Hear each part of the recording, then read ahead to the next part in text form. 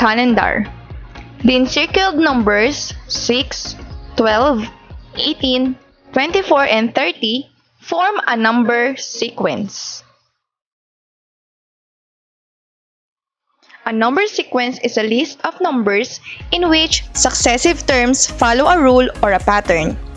Each number in a sequence is called a term.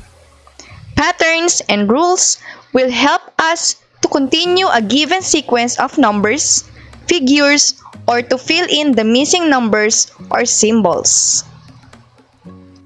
Example Sequence 3, 6, 9, 12, and so on. Every term after the first is obtained by adding 3 to the number preceding it.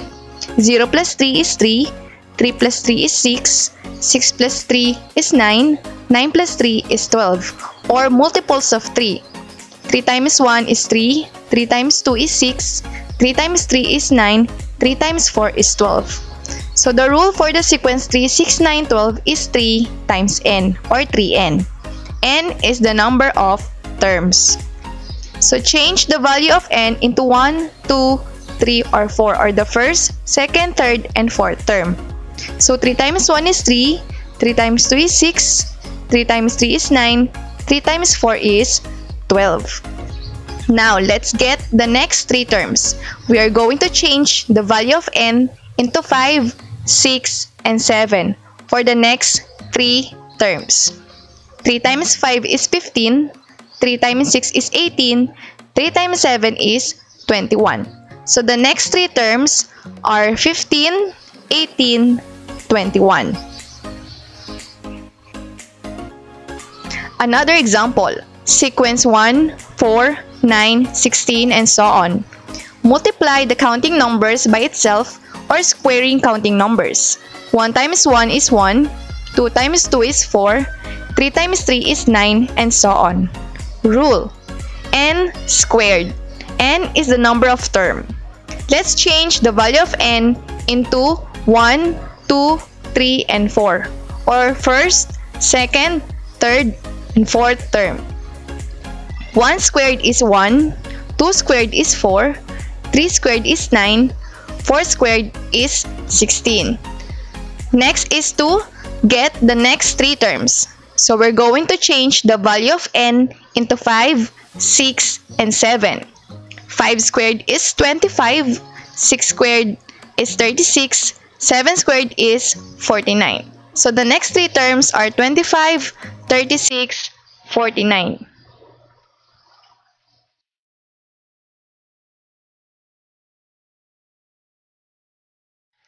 Another example, sequence 1 half, 1 third, 1 fourth, and so on.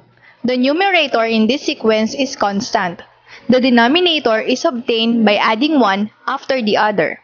1 over 1 plus 1 is equal to 1 half. 1 over 1 plus 2 is equal to 1 third. 1 over 1 plus 3 is equal to 1 fourth.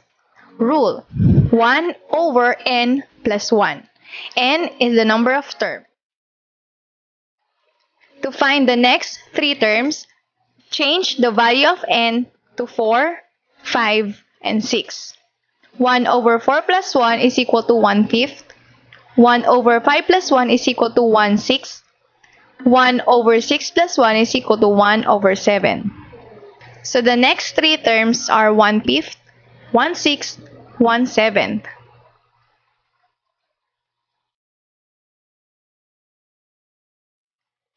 Another example, sequence 2, 5, 8, 11, and so on. Working backwards, you will notice a pattern that subtracts 3 to get the next term on the left. Now, think of a way on how you will get each term having a common difference of 3. Rule 3 times n minus 1 or 3n minus 1. Remember that n is the number of term. Change the value of n to first, second, third, and fourth term. 3 times 1 minus 1 is 2. 3 times 2 minus 1 is 5. 3 times 3 minus 1 is 8. And 3 times 4 minus 1 is 11. Now, get the next three terms. change the value of n into 5, 6, and 7. 3 times 5 is 15, minus 1 is 14. 3 times 6 is 18, minus 1 is 17. 3 times 7 is 21, minus 1 is 20. So the next three terms for the sequence 2, 5, 8, 11 is 14, 17, and 20. Look for a pattern, then write the next three terms.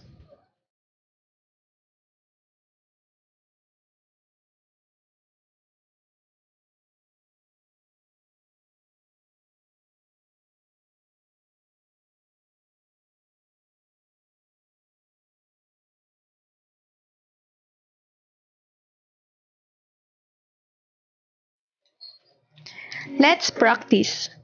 Sarah saved 100 pesos in March, 200 pesos in April, 300 pesos in May, and so on until December. How much did Sarah save for 10 months? The rule is 100 n or 100 times n. Next is to get the sum of the terms. Sarah saved 5,500 for 10 months.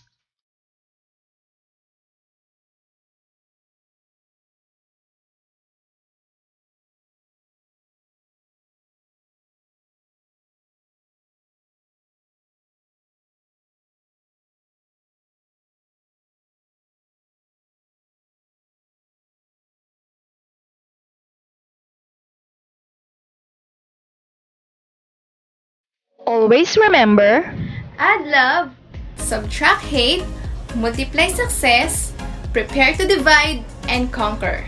Enjoy math, enjoy life. God bless and stay safe.